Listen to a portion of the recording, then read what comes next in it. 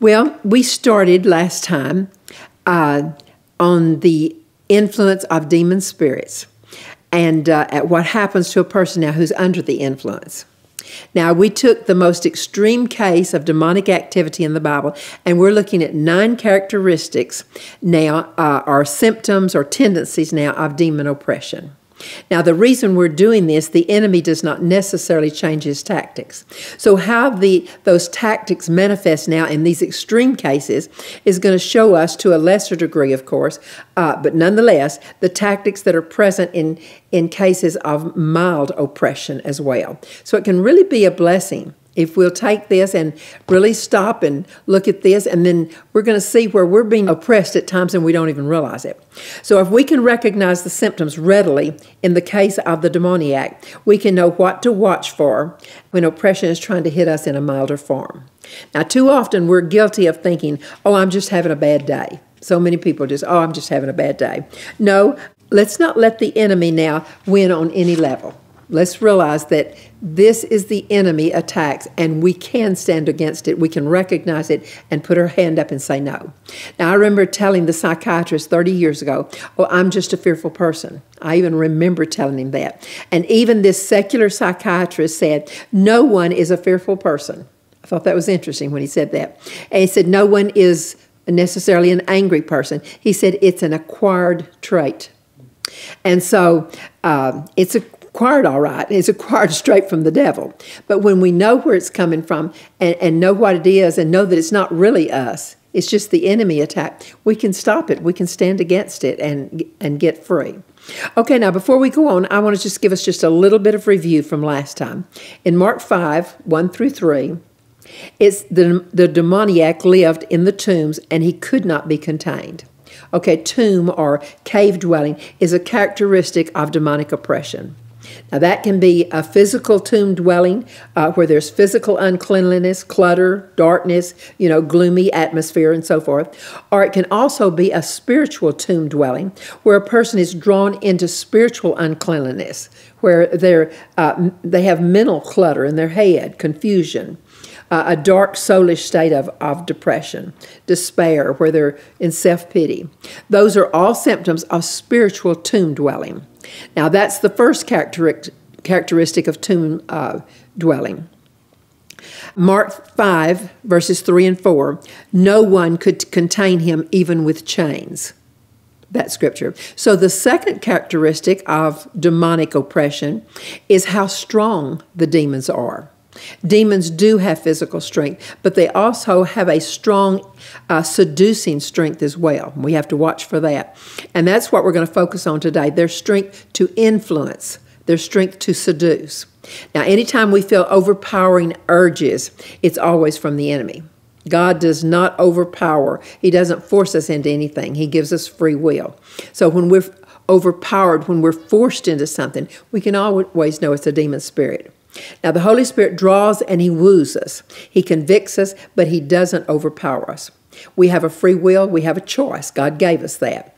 Now, Satan, on the other hand, he tries to make us think that we don't have a choice, that we're just helpless uh, when the enemy comes.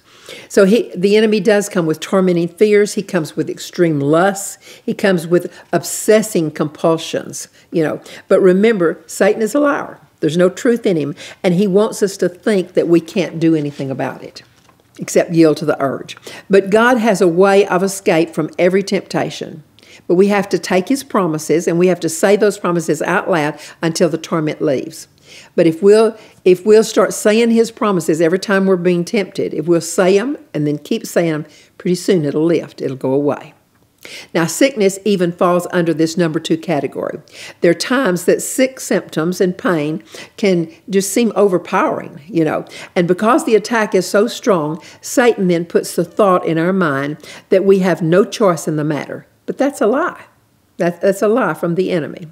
Uh, sometimes we're uh, when we're feeling so bad, we think, I'm sick and there's just nothing I can do about it. But that's the enemy whispering those things in our ear. So begin to quote Psalm 91. We need to confess these promises in Psalm 91 until we believe it. This is a covenant given to us by God Himself. I'll not be afraid of the pestilence. Lord, you promised that it would not even approach me. And when those symptoms are coming, we need to say that and say it until we're convinced. And when we do, pretty soon those symptoms will lift. Now, don't give in to the strength of the demon attacks. You may not be any match against him by yourself. We know that. but you plus God now can overcome anything that the enemy might try to send. Even the man with the legions of demons, the man who had 6,000 demons, can you imagine having 6,000 demons? He was able to overcome when he continued to call on God. But don't, don't call once or twice and then give up and think, oh, it didn't work. God didn't hear my prayers. It is a fight. We're fighting against a physical enemy who's trying to win. So sometimes you have to put up a fight. You have to stand for a while. But uh, if, if you go into it just determined that you're not going to give up until you win, you'll find out victory will be yours. Victory will come. Okay, now that brings us to the number three characteristic of demonic oppression, and it's in Mark 5, verse 5. Constantly, day and night, he was among the tombs crying and gashing himself with stones. You know, you've probably known people who cut themselves. They're called cutters. But what they don't realize, that's a demon spirit. It's exactly the demon spirit that uh, this guy in the tombs had.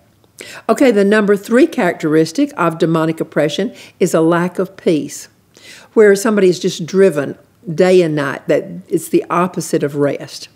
Now, that can be anything from literal insomnia for days to just a mild anxiety. Sometimes we don't realize that a mind, uh, just a mild anxiety where it just wakes you up at night and you don't get your sleep, that's demonic.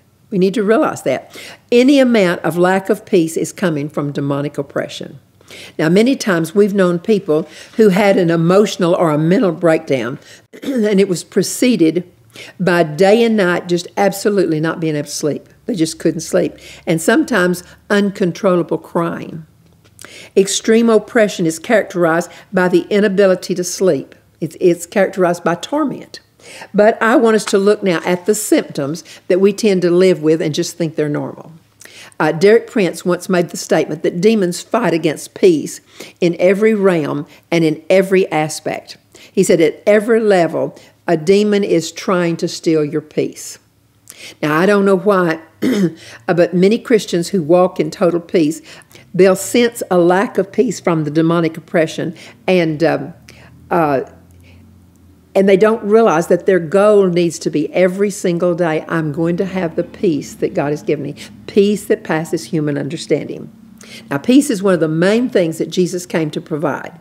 When Jesus was born in Bethlehem, one of the very first things announced by the angels was peace has at last come to earth. I mean, that was the gift that Jesus brought when he came to die on the cross. Now, when God sent Jesus, he sent peace into the world. And Psalm 34, verse 14 says, Seek peace, pursue it, it has been provided. Okay, what a shame not to enjoy what God has provided, and especially peace. Nothing is more wonderful than to be able to have peace in your heart. And God has provided it. But we have to determine I don't care how the enemy fights against it, I'm going to win this battle because it's a gift from the God of the universe. But I want you to notice so many scriptures that talk about our peace. Psalm 37, verse 37 says, A man of peace will have posterity. And Psalm 119, verse 165, He who loves thy law will have great peace. I mean, it's amazing how many promises there are through the word. Isaiah 9, verse 6, called Jesus the eternal Father, the Prince of Peace. He's our Prince of Peace. John 14, 27, Jesus said, Peace I leave with you, my peace I give unto you. Not the world's peace, God said, but my peace. And sometimes we think we're operating in peace when we don't realize there's a step above that when we get into God kind of peace. And one of the fruit of the Spirit is peace love joy peace patience. Okay. Ephesians 2.14 says that jesus himself is our peace. Jesus is peace personified. He is peace. He doesn't just give us peace but the bible tells us he is our peace. And then philippians 4 7 the peace of god passes all human understanding. So god's peace now is beyond our human comprehension. We can't even we can't even conceive of it in our mind. It's such a powerful gift Now, one of the ways that God leads us is by our peace. You know, um, when, when you're wanting to know if, if God's leading to do a certain things, start listening way deep down. And if it's not God, you'll sometimes just almost hear an uh uh-uh. uh. There'll just be an uh uh-uh uh down on the inside of you. And when it is God, you, you'll just have this peace. You know, you know it's Him. And, um, uh, but when your peace is not there, stop. Don't go that direction. Uh, maybe it means it's not time, but whatever it means, it means stop, hold up. Okay, now remember, any amount of lack of peace is coming from some degree now of demonic oppression. Now, demon manifestation is always the opposite of peace. I want to say that again because I want you to hear it. Demonic manifestations are always the opposite of peace. Now, I want to give you a little six question survey for to use as a personal examination, you know, between you and God, and just check out your peace or your lack of it. Because peace is so important that we need to spend just a little time here. If if the angels came and said, finally peace has come when Jesus came to earth, then that means it's worth waiting for, it's worth getting. Just ask yourself, what about my inner peace? Do I have peace within myself? You know, uh, can you spend days and nights on end at home alone with nothing in particular to do and just be totally uh, content to be with yourself? After 24 hours, are you climbing the wall? Or can you enjoy just having some thinking time? Or some reading time, uh, or time to just think on things that maybe you don't have time to think on at other times. Uh, can you make it constructive when you're alone, just between you and God? What about peace in your physical body? Do you feel your stomach churning at times? You know, uh, is there a low grade anxiety? Some people live with a low grade anxiety. Years ago, before I went through deliverance, I lived with a low grade anxiety, and I was so used to it that I didn't even know it was there. You know, until it was gone. And I thought, oh God, this feels so good. So a lot of people live with, they never know that they have that anxiety. Is your body rigid? Is it tense and stressed? I can remember during those years, I went for a manicure once, and the girl was doing my nails, and she says, Your hands are so tight. She said, Can you relax them? And I thought, My hands are tight? I'd never even noticed that. I didn't know it. Uh, do you bite your fingernails? Do you bite the inside of your cheek? You know, those are signs of lack of peace. What about peace with your fellow man? Answer this inside of yourself, but which term best characterizes your attitude, your, your overall general feeling toward most people, most of the time? Is it tolerance? Uh, do you just tolerate people? Or is it genuine love, genuine peace when you're around someone? Now, the term that describes your normal attitude tells a lot about the peace that you have on the inside of yourself. You know, at the first Christmas, a vertical peace was made between God and man, and that vertical peace opened the door then to a horizontal peace that we have with each other. But we've got to have that vertical peace first. Are you constantly having to deal with guilt and condemnation in your soulish realm where, where you never really feel good about yourself or, or about you never feel good about something you've done? Even though maybe you've asked for forgiveness, you know, can, can you stop and really realize that God wants you to be forgiven and He wants you to have peace? Forgiveness opens the door to that peace. So ask yourself how well do I adjust to situations and circumstances? Do I handle change well? Every one of us need to ask ourselves that. Is it a real struggle or do I flow with the situation by just trusting God? Lord, I know you're there. I know you're going to help me through this. You're going to give me answers. We need to we need to have that settled on the inside of us. That kind of peace that we're talking about comes through the door of trust, where we're trusting God. Overall, take an across the board look at yourself. Uh, how are you at your job? How do you do at school? When you're just waiting for a red light, are you just just can hardly wait for it just to you just want it to move on, you know? Maybe while you're sitting around the table talking with family, are you, are you just thinking, I need to get busy, I've got things I need to do? You know, we need to ask ourselves. When you're reading a book, some people can't read a book because they, they are thinking of all these things they need to do. Would the word restlessness describe your general overall feeling? Now, everyone gets restless from time to time. You know, that's normal. But is restlessness a daily overall characteristic? If it is, then it needs to be something you go to the Lord and say, Lord, I need help. You know, I want to be delivered from this. I want your peace. Demon oppression is characterized by constant restlessness. So a lack of peace is what to whatever degree is the number 3 symptom of demonic oppression. Okay, number 4. Uh, the characteristic of demonic oppression is in verse 5. The demoniac was constantly day and night among the tombs and in the mountains, constantly day and night. So, the number four characteristic of demon oppression is the withdrawal from people, always wanting to be alone, a recluse. Now, I'm not saying it's wrong to want to be alone at times and even like to be alone at times. We, we all need that. That's healthy. So don't mishear what I'm pointing out here. I'm talking about someone who never wants to be around people. You, you'll know the difference. Now, the tendency to always pull away from godly fellowship and pull away from corporate worship where you, are worshiping with other people, when a person's predominant tendency is to withdraw from contact with people, that's a sign of oppression. Now, I want you to notice the next time you're a little bit depressed, you want to stay home. You want to close the doors and pull down the shades and not see anyone. When depression makes us feel that way. When you feel that, do exactly the opposite. We need to make ourselves do the opposite. Open the door, get as much light in as possible, invite somebody over. Now, it may not be a big problem for you, uh, but it may just be a mild symptom of oppression. But even just with the mild symptoms, we need to get rid of it, get take care of it. God has called us to be an overcomer in every area. Okay, the number five characteristic of demonic oppression is found many times in outbursts of emotions. We live in a physical body amid sometimes some very frustrating circumstances.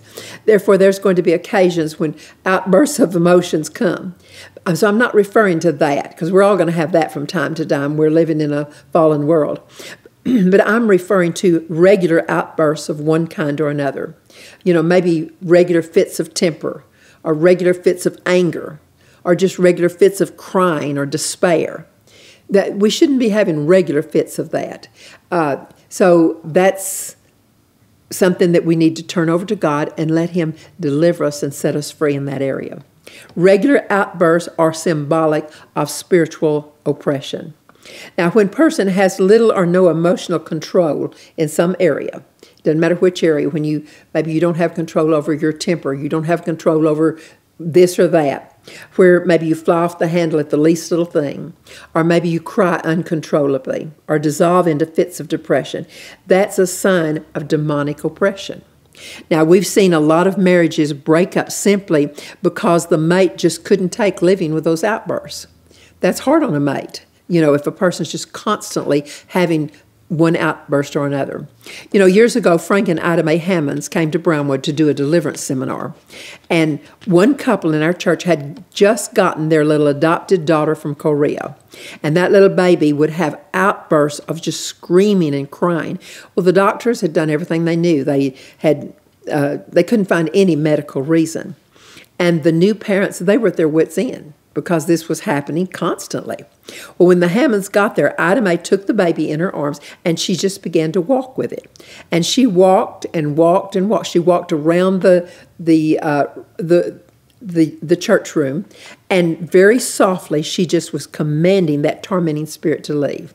She called it a tormenting spirit, and she spent a good while. She did that for uh, probably well over an hour, maybe two hours, just walking and commanding. And that baby never had an outburst again. I mean, the whole church was shocked because we didn't know what to do. We, we were uh, so uh, worried about the parents because they, did, they didn't know what to do. I praise God for deliverance. You know, we put up with things that God never intended us to put up with. And it's just because we're not receiving the gift of deliverance. And I hurt for people who don't know about it. Okay, the number six symptom of demonic oppression is in the last part of verse 5. The demoniac was gashing himself with stones, he was cutting himself constantly. So, number six symptom is an extreme here it's self destruction. When there's self destruction. Now, we've all read or heard cases where people will do physical harm to himself. That, of course, is uh, obvious demonic oppression. But our objective today is not necessarily now to deal with the extreme evil that uh, spirits bring. Our objective today now is for us just to discern the minor form of these self destructive things, and that's called self rejection. We can see it when it's the the big things. But sometimes we overlook these little things. So that's what I'm wanting us to center in on today. I want us to see those little things we're putting up with that God never intends us to put up with. And so this one is uh, it's not self-destruction, but self-rejection is a milder form. Now that may be hard to hear, but self-rejection is a form of demonic oppression every time. Everything in God's kingdom, everything that God asks of us is for our well being, it's for our good. Now, it's not for destruction or rejection ever. It's for our health and for our happiness.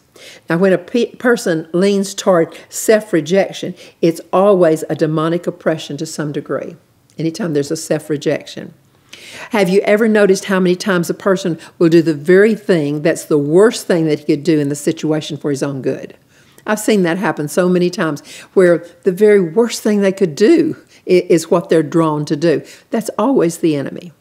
I've seen this with husbands and wives. A husband or a wife will be needing attention, they're, they're needing love from their mate.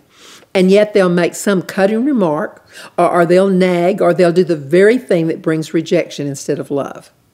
And I've been amazed at how often I see that happening. But that's a demonic thing that needs to be turned over to the Lord. They need deliverance.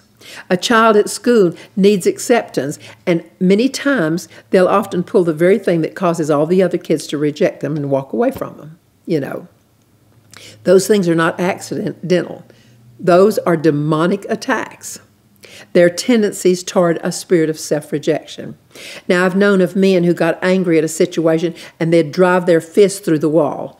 Well, who did that hurt? You know, the only person he hurt was himself, and then he had to repair the wall, you know. But I've seen that happen so many times. Uh, we had a ministry of, of uh, deliverance, and I can't even begin to tell you how many times we'd be taking some man through deliverance, and he would say, When I get angry, I just have to break something. And uh, uh that's a, a demonic attack. Spirit oppression causes us to do crazy things that hurt us. have you ever been so angry at a situation that you picked up something that belonged to you, something that you really liked, and you threw it on the floor and smashed it? Okay, who did that spot? You know, I, I've seen that happen before. Okay, that's a form of self rejection. Even though we've all fallen for this at one degree or another, it's never Holy Spirit uh, inspired. Never is. So if it's not Holy Spirit inspired, we need to get rid of it. We need to let God deliver us. It's an evil spirit inspired. Any degree of self rejection is a form of spirit oppression. And God doesn't want any of us, any of His children, to have spirit oppression. Okay, now verse 6. Uh, the demoniac got up and ran to Jesus. That's interesting. So, inside of Legion was a man who wanted to follow God was a man who wanted help. He wanted it badly enough to run to Jesus and not run away from him. That needs to be something that we need to ask ourselves all the time. When something happens, do I run to the Lord? Do I run to Him as quickly as I can? Or, or do I pull away in hurt or whatever? Do I do that? That's going to answer a lot of questions if we'll just ask that one simple question of ourselves. This man, this demoniac, he wanted it badly enough to run to God in spite of the extreme oppressing symptoms that were trying to pull him away. So that's a real clue.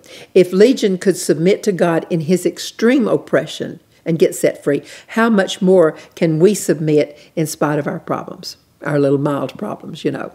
Okay, number seven characteristic of demonic oppression is in the first part of verse 7.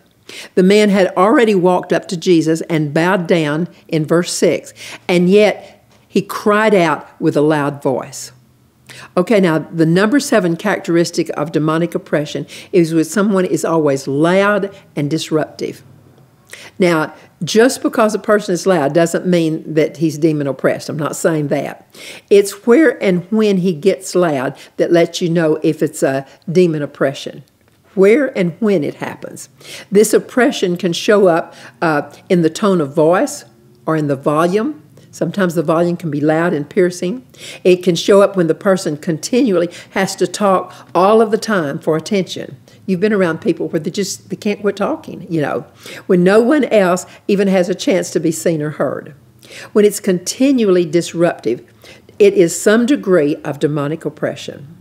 Now, a disruptive spirit can even manifest in praise, and you don't think about that. Uh, but it can take over a service in a disorderly manner and take the attention away from God. We had one woman years ago, and she would start praising so loudly that all the attention would go to her, and the spirit of praise and worship would immediately lift off the place the minute she started. I mean, everybody just stopped, you know. There are times when it's in order to praise God in a very loud voice. There's times, and it's usually when everybody's doing it. We're all together uh, praising and worshiping. But when others are in the awesome presence of God, and someone just belts out and breaks the spirit of worship, and it's disruptive, that's not God. Okay, number eight characteristic of demonic oppression is in the last part of verse 7. I ask you, Lord, do not torment me the demoniac said. Okay, so the number eight characteristic is the fear of punishment, the constant need to be punished, uh, the fear of being punished. Okay, now 1 John 4, verse 18 there's no fear in love. Perfect love casts out fear. We need to memorize that.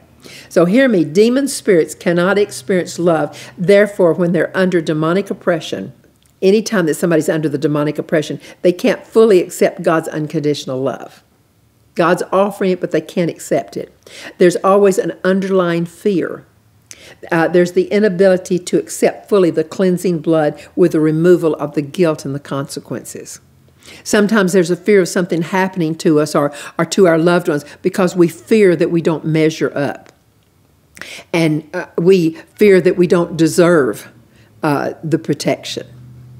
And then there's the inability to get out from under that feeling that God is that out to get me.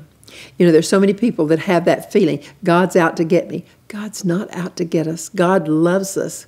He's given his life for us. He, he gives us everything that we could need or want. But being constantly plagued with those kinds of thoughts and feelings is an indication of demonic oppression. If you'll just go down this list and look at these, many times you'll think, oh, I do that, but I didn't realize I did that. So this list can really help us. Okay, number nine. Now, Luke's account of the story of the demoniac says that he wore no clothing. Now, this may sound a little insignificant and trivial, but it's not. Whenever there is a trend away from normal modesty, it's a characteristic of demonic activity, always. You know, I, I went up into the college dorm of, of the girls several years ago, and there was such a heavy demonic oppression in that dorm because of the lack of clothing being worn in their rooms and in the hall. And uh, it, it was an oppression. You could feel the oppression. There was a lewd, degrading spirit, and you could sense the uh, the spirit the the moment that you were on that floor. It was it was really embarrassing. Well, I found out later that one girl with a lewd spirit ran around on the floor without clothing, and she somehow had convinced the other girls that that's how it's supposed to be in all the dorms. That's just characteristic of, of dorm living. A demon spirit is always trying to seduce others. Now, I was ministering to a woman from another church outside of Brownwood. Now, at one point in her life, she had become terribly demon oppressed to the point of going out into public with, with no clothes. Well, later, when she got set free, it was a horrible source of embarrassment and humi- humiliation to her. And uh, so, demon activity becomes very humiliating. When there's something that's just constantly humiliating us, we need to realize there's a demon spirit involved. It's kind of like Norvel Hayes says. He says Satan is crazy and he influences people to do crazy things. He influences them to do self degrading things for which they're later so embarrassed. So, embarrassment is another thing that Satan uses. And he tries to embarrass people in different ways. Now, unnatural immodesty is a sign of demon oppression. Public nakedness is a characteristic of extreme demonic oppression. But our objective today is to learn to recognize or discern minor manifestations of that same demonic oppression. And the trend in modern uh, uh, morality is to be more skimpily dressed. We see that in the world today. And to be more skimpily dressed is characteristic of demon oppression in a milder manifestation. Now, we recognize it in the extreme, but sometimes we don't recognize it when it's just skimpily dressed. But we need to realize that too is a, a, part of the manifestation of the enemy. And that trend toward revealing more and more of our body leads to demonic activity. Now, if we stopped here, it'd be scary and it would be very depressing. But I want us to look at the good news. In verse 10, uh, the demon begged Jesus not to send them out, out of the country. They were begging. Okay, notice the demons recognized the authority of Jesus and they responded immediately to that authority. They knew the authority of Jesus and they recognized it and they responded. They had no power to withstand Christ's authority. Now, Luke 10 19 says, I've given you all authority over the powers of the enemy, and he will not injure you. Okay, we have the same authority Jesus had if we use his name in faith. We need to realize that's been given to us. It's a gift that's been given. Now, demons are bound by what we permit or what we forbid. Some people don't stop to realize we have authority over the demonic realm, and they are bound by what we permit or what we forbid. You know, we think, oh, well, they're bound by if God for, permits them or if He uh, forbids them. No, that power is put into our hands. We're the ones that God has given that power to, and those demons are bound by whatever it is that we permit or whatever it is that we, we forbid. Now, in verse 13, I want you to notice that the demons would rather live in the swine than go to their own place. They didn't want to go to their own place. They'd rather live in the swine. Those demons did not intentionally drive the swine into the sea. Demon oppression always leads to destruction, even when it's not the immediate uh, intention. They wanted the swine for a dwelling place, but the swine got panic stricken with that sudden invasion of oppression, and they totally lost control of their senses and they were driven to destruction. It's not the demon's intention to destroy us right away. That's what we need to realize. Demons don't intend to destroy us right away because they want to use our body. We need to realize that. So when mild oppression comes, and we tend to think, ah, oh, this oppression's not really that, it's not hurting anything, it's not that big a deal. We need to realize that we put up with things that we should be taking authority over because we need to realize that demon oppression always does eventually destroy in some area. Even though we think, oh, that's not big, that big a deal. Yes, it will eventually bring destruction. Now, I'm not necessarily talking about death every time, but death in some areas. Death is simply the absence of life.